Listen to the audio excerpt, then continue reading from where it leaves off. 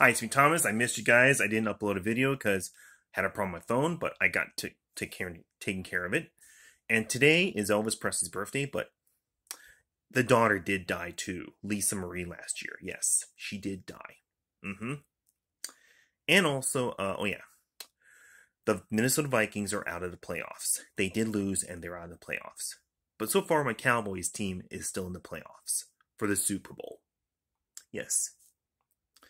And also, uh, oh yeah, I hope it will rain because we don't want another drought.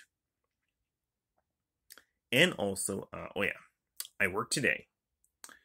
And also, uh, oh yeah, I might even see the movie Mean Girls, but I hope it's good. The new one, Mean Girls. But it's a different cast.